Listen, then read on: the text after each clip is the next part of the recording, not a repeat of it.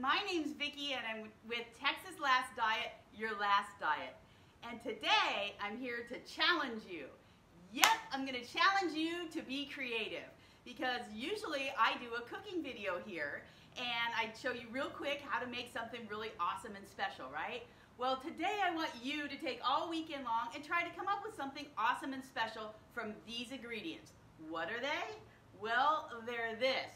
It's an eggplant. Now listen, if you don't like eggplant, I don't care. Use a zucchini instead. So I want you to use this,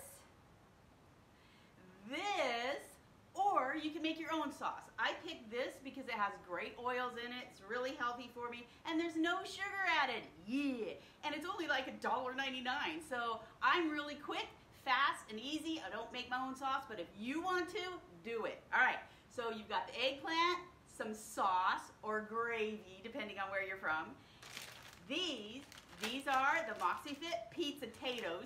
I love them. They taste just like pizza. So you got to use these. And eggs. Now, if you want to use any other ingredients, you're more than welcome. Don't make it too fancy, okay?